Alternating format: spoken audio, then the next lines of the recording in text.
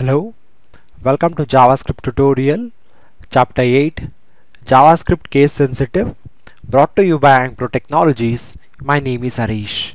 In this session, we are going to learn whether the JavaScript is case sensitive or not. Right now, let's understand that very clearly. Yes, the JavaScript is case sensitive programming language. So, the variable names, keywords, methods, object properties and event handlers are all case sensitive. So to understand these two sentences very clearly, right now let me jump into Visual Studio Code and in the Visual Studio Code I'll click on the file menu and right now I'll open the folder where I'm going to create my HTML page. This is the folder and I'm going to select that folder. When I do that, I'll get the respective folder here and within that folder I'm going to create a HTML page. So I'll click on this icon and I'm going to name the file what I'm going to create right now. I'm going to create a HTML file so I'm naming it as demo.html.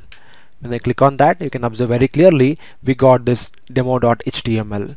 Now when I double click, now what I'll do is I'll write a bit of HTML code html tag head and inside that let me take title.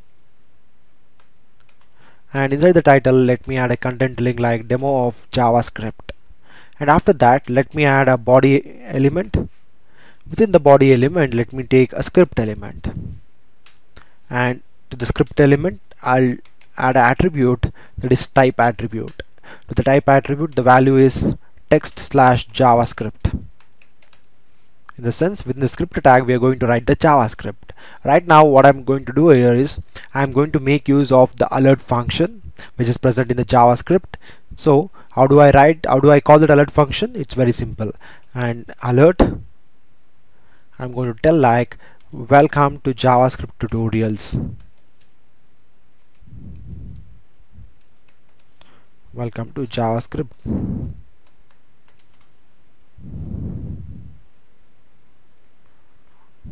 when I do control Z and I have to end it with the semicolon control S. When I go back to the folder where I've saved this page okay and here is the folder. When I double click double click on this you can observe we'll get a alert message telling like welcome to welcome to JavaScript tutorials.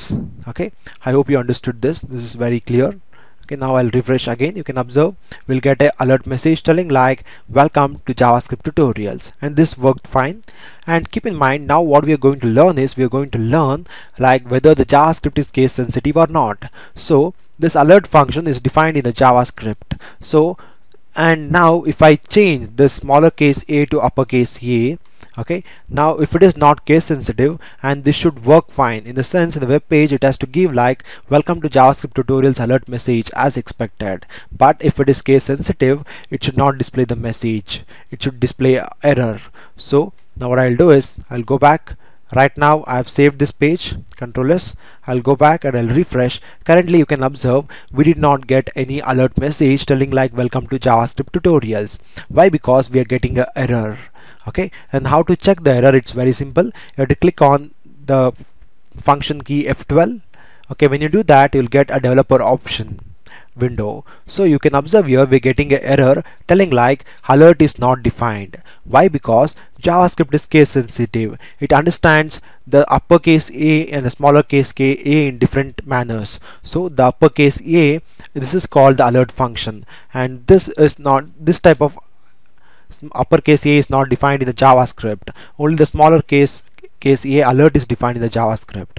So now when I do control S when I go back when I do F5 we'll get a output telling like okay comes very clearly? We'll get an alert message. But when I do it reverse like in the sense if I make this alert a capital and when I do control S when I go back and when I refresh now when I press function F12 key you can observe we are getting an error telling like alert is not defined. This makes us very clear like JavaScript is case sensitive okay?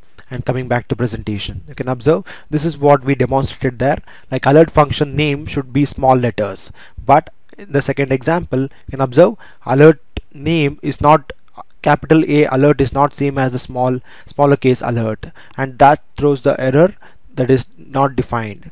Okay? And let me show you another example. It's very simple. What I need what I what I'll do right now is let me create a variable which holds a value in number. Okay? How to create a variable in JavaScript? You have to call this var keyword. Then the variable name is a is equal to 10 or let me take it like str string str okay? And I'll tell like hello. And what I'll do is I'll print this in the alert.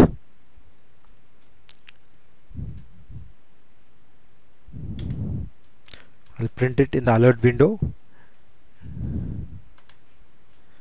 When I do control S when I go back and when I refresh you can observe we are getting a message telling like alert I'll refresh this again. You can observe very clearly. We're getting a message. Hello. Okay? This is what we expected. But now if I change uh, the variable name in the sense here this variable name is str and s, s is smaller case. But here when I when I when I'm printing that in the alert if I change the case of the s to uppercase now when I do control s when I go back and when I refresh you can observe we are not getting a alert message hello. So when I press F12 we will navigate to developer option window and you can observe again here like str is not defined in the sense it again strongly proves the javascript is case sensitive. Okay? And that's what we learned in this session like whether the javascript is case sensitive or not. So finally thank you for listening. Have a great day please subscribe to our youtube channel Ankpro training you can, can also like our facebook page visiting these urls you can also follow us on twitter for further reference for our website we are on linkedin too Last but not the least, please don't forget to give the feedback. Thank you. Have a great day.